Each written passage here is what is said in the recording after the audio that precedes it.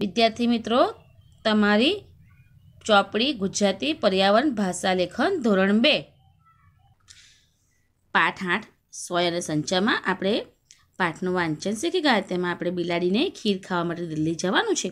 તે માટે એને તૈયારી કરીએ એ આપણે પાઠમાં ભણી ગયા. હવે આપણે પ્રશ્ન છે વાતચીત. અહીંયા પ્રશ્નના જવાબ આપ્યા છે. પહેલો પ્રશ્ન, બિલ્લી માસી કોની કોની પાસે ગઈ? તો બિલ્લી માસી ખેડૂત પાસે પિંજારો, વણકર, દરજી, ધોબી, મોચી, સુથાર અને કુંભાર પાસે ગઈ. બિલાડી કુંભાર પાસે શા માટે ગઈ? શું કામ ગઈ બિલાડી કુંભાર પાસે? એને માટીનો ઘોડો જોઈતો હતો માટે. ત્રીજો પ્રશ્ન, બિલાડીની ગાડીના પૈડામાં પંચર થયું છે, તો તે ક્યાં જશે? તો એની ગાડીમાં પૈડામાં પંચર હોય તે પંચર બનાવવા.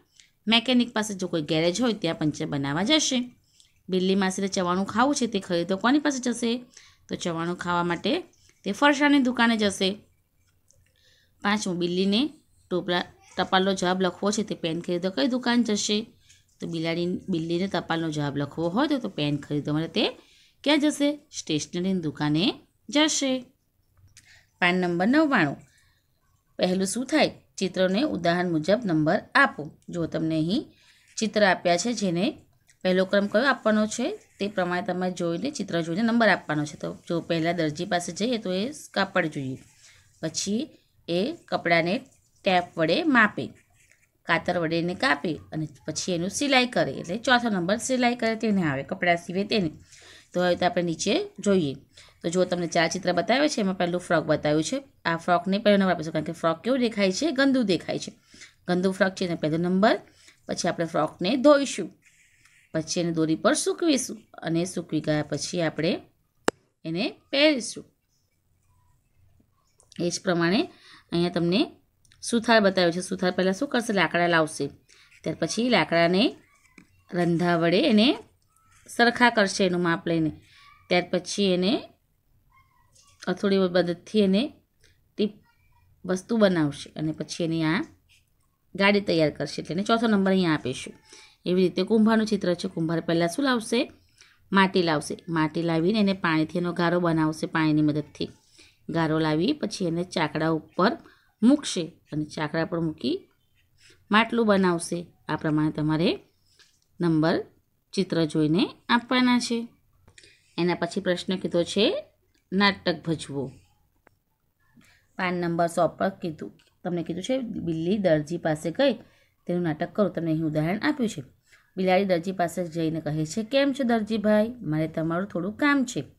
દરજીભાઈ કહે છે, બોલો ને, બિલાડી માસી. બિલ્લી કહે, મારે કપડાં સીવીને આપો ને. દરજી કહે, કાપડ લાવ્યા છો?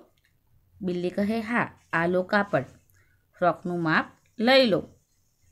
દરજી કહે, લાવો, ફ્રોક સીવવાનું છે ને, માપ લઈ લો. બિલ્લી કહે, જોજો, કાતરથી બરાબર વેતરજો. દરજી કહે, હા, બિલાડી માસી એવું ફ્રોક બનાવીશ કે તમારો વટ પડી જશે. એટલે અહીંયા દુકાનદાર અને બિલાડીનો સંવાદ આપ્યો છે કે દરજી પાસે જેને બિલાડી શું વાતચીત કરે છે તે તમને અહીં કોષ્ટકમાં દર્શાવ્યું છે. એ પ્રમાણે તમારે ધોબી પાસે જવાનું છે અને તેનું નાટક કરવાનું છે. બાળકો, તો તમારે આ પ્રમાણે ધોબી પાસે જઈ તેનું નાટક કરવાનું છે. બિલાડી સુથાર પાસે ગઈ તેનું નાટક કરવાનું છે. બિલાડી કુંભાર પાસે ગઈ તેનું નાટક કરવાનું છે. એ પ્રમાણે તમારે સંવાદ કરવાનો છે. દાખલા તરીકે ધોબી પાસે જાય તો બિલાડી શું કહે? કે બિલાડી કહે કે, ધોબીભાઈ, મારે તમારું કામ છે. ધોબી કહે, બોલો, શું કામ છે? તો મારે કપડાં ધોબડાવવા છે અને ઇસ્ત્રી કરવા છે. આ પ્રમાણે સંવાદ જે ઉપર તમને આપ્યા છે, એ પ્રમાણે તમારે ઘરે નાટક કરવાનું છે. ચાલો ગાઈએ ગીતડું તમારે. ગીત ગાવાનું છે, તપ તટ ટપારે હુંવાળું. હવે જુઓ એના પછી પ્રશ્ન છે, આ સાધન કોણ વાપરે? કહો અને લખો. તો જો અહીંયા તમને સાધન કોણ વાપરે? સાધન કોણ વાપરે તેના નામ લખવાનું છે? હવે ઇસ્ત્રી ઇસ્ત્રી કોણ વાપરે? તમે ઉદાહરણ આપ્યું છે તો ધોબી. એવી રીતે કાતર. કાતર કોણ વાપરે? કાતર દરજી પણ વાપરે અને વાળન પણ વાળ કાપવા માટે માપે, વાપરે. મેઝર ટેપ તો દરજી વાપરે. કરવટ, સુથાર. સાબુ કોણ વાપરે? ધોબી વાપરે કપડાં ધોવા માટે. હવે ચાકડો તો કુંભારનો હોય. હથોડી મોચી પાસે હોય. પોલિશ બ્રશ પણ મોચી પાસે હોય. સીવવાનો સંચો દરજી અને ધોકો ધોબી.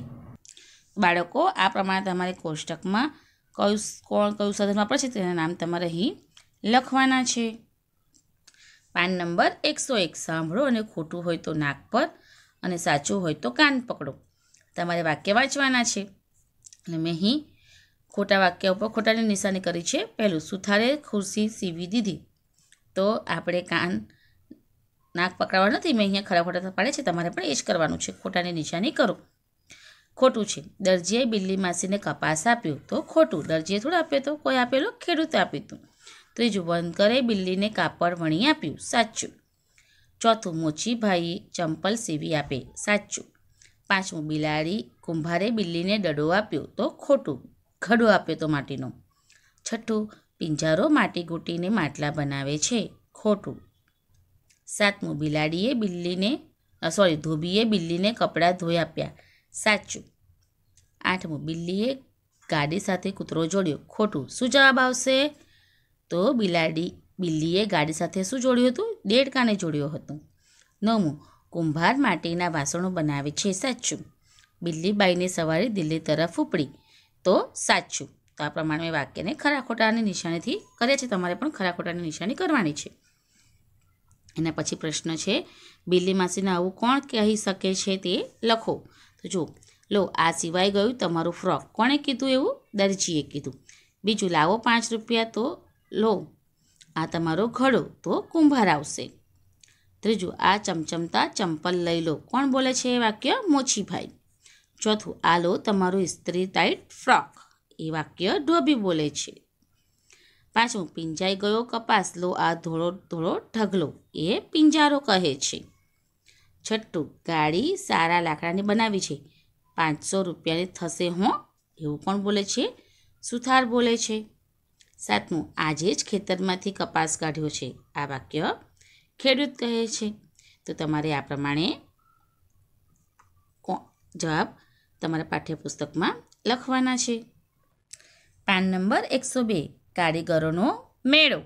તમને અહીં કારીગરોના મેળાનું ગીત આપ્યું છે. ચાલો આપણે પણ ગીત ગાઈએ. જામ્યો કારીગરનો મેળો. જામ્યો કારીગરનો મેળો. ચાકડા અને ટોપલો લઈને આવ્યા કુંભારભાઈ. જો કુંભાર કઈ વસ્તુ વાપરે છે? ચાકડો અને ટોપલો. એ કુંભારભાઈ વાપરે છે. માટીમાંથી માટી, માટલાને ઘાટ બનાવે કેવું? એટલે ભીની માટી હોય એ ચાકડા પર મૂકીને માટલીનો ઘાટ એટલેનો આકાર બનાવે છે. લેલું અને અંબો, ઓળંબો લઈને આવ્યા કડિયાભાઈ. કડિયાનું સાધન કયું છે? લેલું અને ઓળંબો. એ કડિયાનું સાધન છે. ઈંટ માટીથી ચણી ચણીને મહેલ બનાવે કેવો? એટલે ઈંટ અને માટીની મદદથી આપણું ઘર બનાવે છે, મોટા મોટા મહેલ બનાવે છે.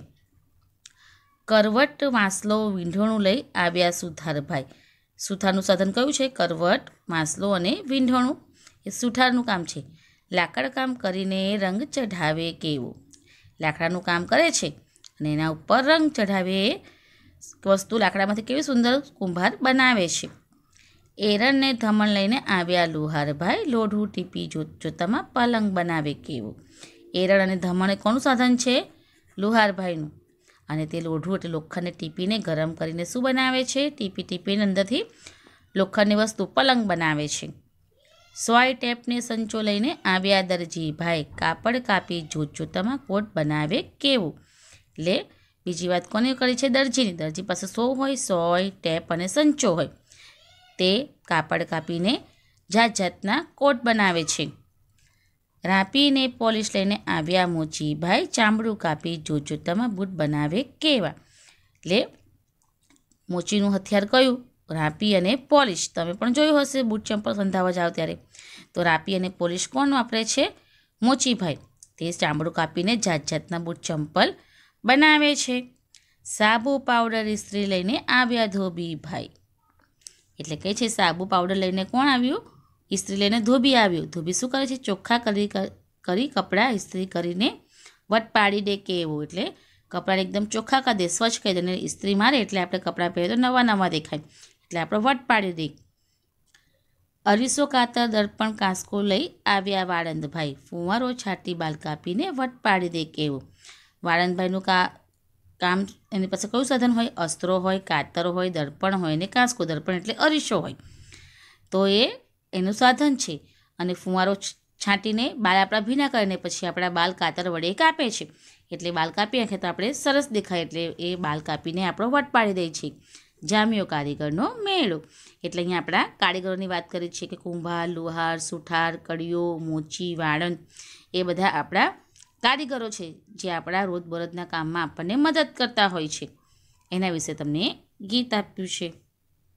પાન નંબર એકસો ત્રણ. અહીંયા તમને કીધું છે, સાધારણ વ્યવસાયકારની ટોપલીમાં મૂકો.